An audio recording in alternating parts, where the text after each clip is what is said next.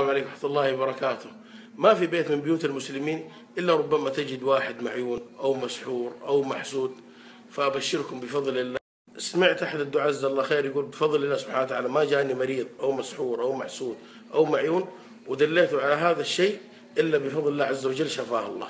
يقول بفضل الله عز وجل كلهم شفاهم الله عز وجل. والعلاج الحمد لله سهل وما يحتاج فلوس. وراح أقول لكم بإذن الله العلاج وأبشروا بالخير.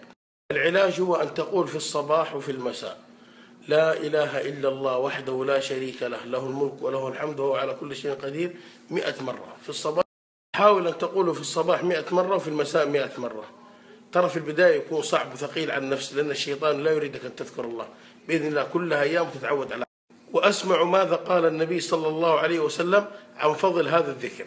قال النبي صلى الله عليه وسلم من قال لا إله إلا الله وحده لا شريك له له الملك وله الحمد وهو على كل شيء قدير. في يوم مئة مرة له عدل عشر رقاب وكتبت له مئة حسنة ومحيت عنه مئة سيئة وكانت له حرزا من الشيطان في يومه ذلك حتى يمسي.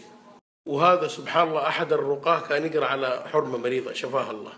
فأخذ يقرأ عليها من القرآن إلى أن تكلم الجان الذي يسكن في هذه المرأة.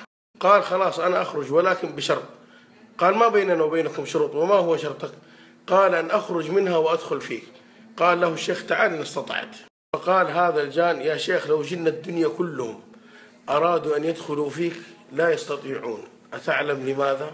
قال له الشيخ لماذا؟ قال لأنك قلت اليوم الصباح مئة مرة. لا إله إلا الله وحده لا شريك له. له الملك وله الحمد وهو على كل شيء قدير. قولوها واستعينوا بالله عز وجل. في البداية تكون ثقيلة على النفس. بإذن الله أيام تتعود عليها. أسأل الله أن يحفظكم بعينه التي لا تنام. قولوا آمين.